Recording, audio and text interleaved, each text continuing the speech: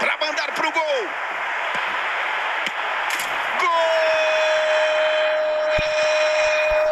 Chocolate! Foi uma bola muito difícil, alta, entrou muito próxima do travessão.